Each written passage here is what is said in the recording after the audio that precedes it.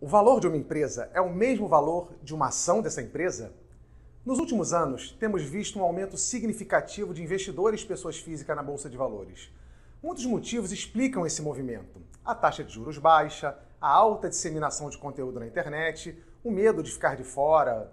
Porém, o entendimento sobre conceitos, riscos e aspectos técnicos, infelizmente, não caminham com a mesma velocidade da entrada dessas pessoas no universo de renda variável.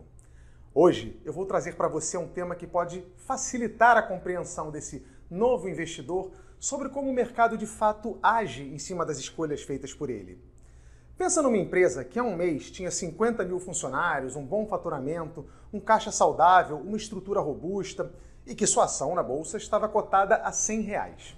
Essa mesma empresa, um mês depois, com os mesmos 50 mil funcionários, com a mesma estrutura robusta, tem sua ação negociada a 90 reais, ou seja, 10% a menos do que no mês anterior. Isso significa que essa empresa perdeu valor? Deixou de ser robusta? Muito provavelmente não.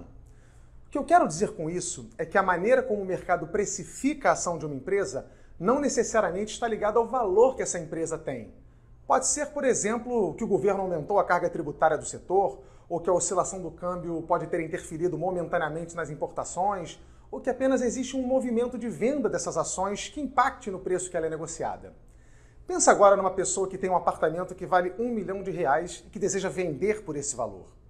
É possível que as ofertas de compra que essa pessoa receba sejam menores do que um milhão de reais. Isso significa que ele não vale isso? Não. Isso significa que o mercado, naquele momento da oferta, não está pagando o valor que ele tem por diversos motivos ou por uma crise, ou um aumento de criminalidade no bairro, ou um índice de desemprego alto, etc.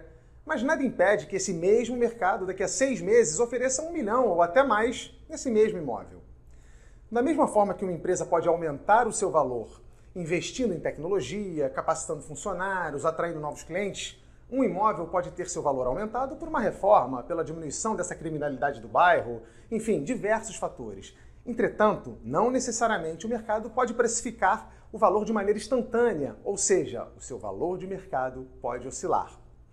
Escolher ações de empresas que tenham valor é fundamental para que não haja distorções tão significativas em relação ao preço que o mercado dá a elas.